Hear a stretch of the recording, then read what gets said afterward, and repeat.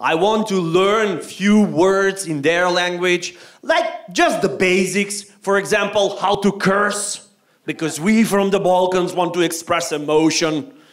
When we curse, we go through your whole CV. Yeah, that's the way to do it. He was born in 1983 when I fucked his mother in his ass. How's that possible? You figure it out, brother. So that's the basic. First thing I want to learn is how to curse in a foreign language. And the second most important thing for me is how to order a beer. That's all a Balkan man needs cursing and beer. And you're fine for a week. so, do you know the word for beer in Danish?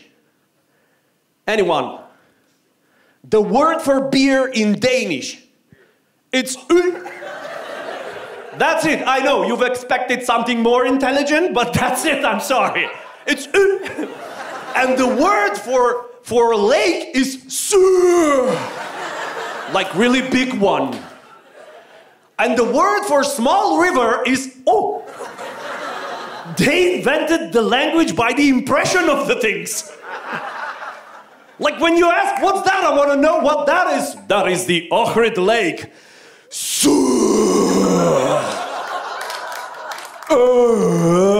Yeah, with the Albanian part.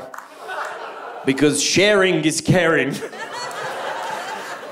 and what's that? I want to know what that is. That's a small river. Oh, that's not so spectacular. But the word for beer is really practical, amazing.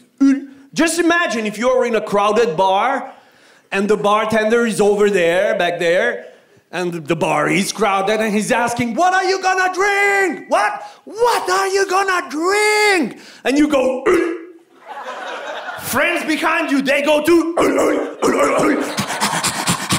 Party on, bitches!